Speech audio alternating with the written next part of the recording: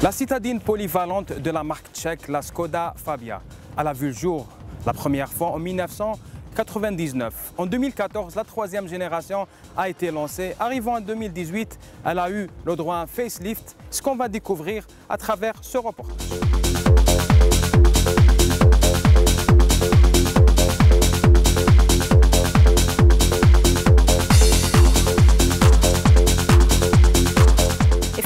Comme vous l'avez remarqué dans les présentations de ce matin, qu'il s'agit d'un facelift, donc ce n'est pas la nouvelle Fabia, mais qui est restylé euh, avec beaucoup, beaucoup d'options, comme vous l'avez remarqué, donc des équipements supplémentaires avec un changement sur la calandre.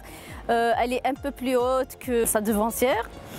Donc euh, effectivement, ce produit est très très attendu en Algérie. Donc les Algériens adorent la, la Fabia.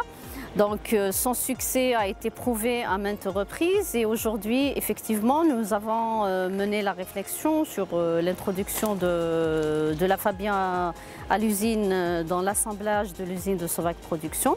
Et la bonne nouvelle, c'est effectivement, nous allons assembler la Fabia facelift à l'usine Sovac Production dans les prochains mois.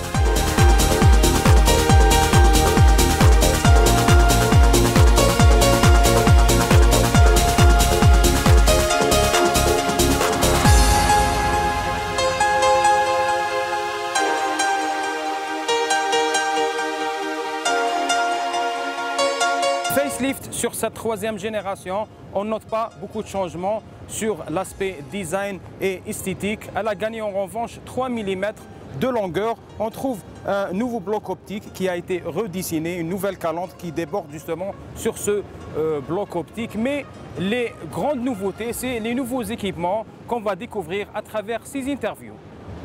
Vous voyez, nous avons une, une face avant totalement nouvelle, des nouveaux phares, des nouveaux feux à l'arrière, un, look qui est totalement modernisé et une voiture qui est remise complètement au goût du jour. Quand on remet une, voiture au goût du jour, on n'essaye pas seulement d'améliorer son look, mais aussi bien entendu de la mettre au niveau en termes d'équipement intérieur.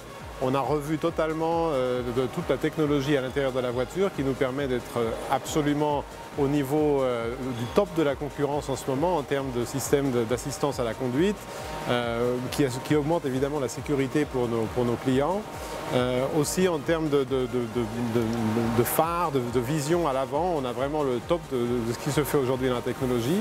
Et puis aussi en termes de, connectivité, d'offres de, services d'infotainment online, on a, vraiment là aussi développé une, nouvelle génération qui nous permet d'offrir le meilleur de la technologie aujourd'hui aux clients de Skoda. On a euh, d'un côté un Auto Light Assist qui nous permet d'avoir une, vision parfaite à, l'avant du véhicule. On a aussi un système qui permet, lorsque vous reculez, de reconnaître quand il y a des obstacles qui se présentent et de, freiner la voiture si, nécessaire. Donc on a ajouté un ensemble d'éléments de sécurité qui sont, qui sont, très importants, tout en gardant évidemment le, cœur de ce que fait une Skoda, c'est-à-dire un espace intérieur qui est au top.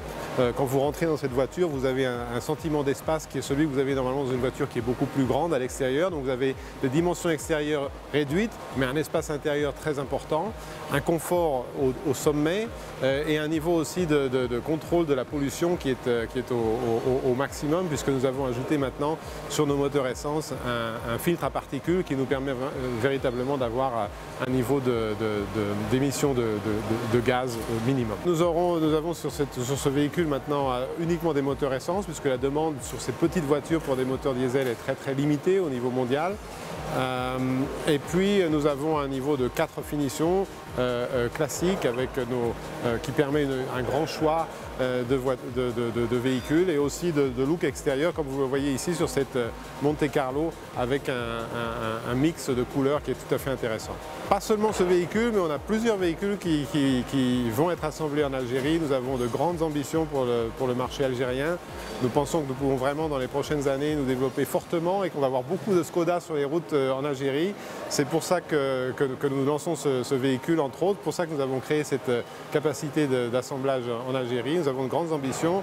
Je serai en Algérie au mois de septembre et je suis tout à fait euh, confiant qu'on va réussir à, à installer la marque Skoda encore plus fortement sur le marché algérien.